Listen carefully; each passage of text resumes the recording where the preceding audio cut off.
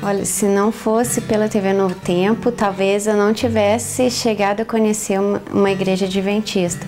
Porque em casa a gente assiste, a gente não, às vezes tem vergonha, se estiver numa igreja, às vezes tem vergonha de perguntar, vergonha de questionar, é, leva um tempo até você conhecer, tirar suas dúvidas, por ter mais pessoas também, são cada dia um assunto específico.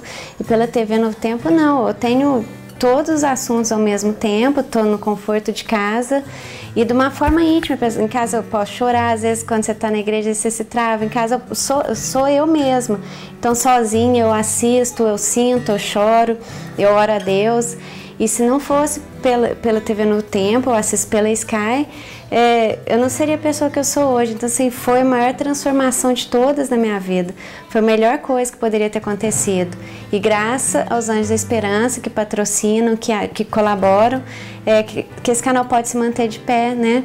Então, graças à generosidade e ao amor por Jesus que os anjos da esperança, que os anjos da esperança têm, que essas mensagens podem chegar até outras pessoas como chegou até mim e transformar a vida da gente. Então, assim, foi a melhor coisa que poderia ter acontecido.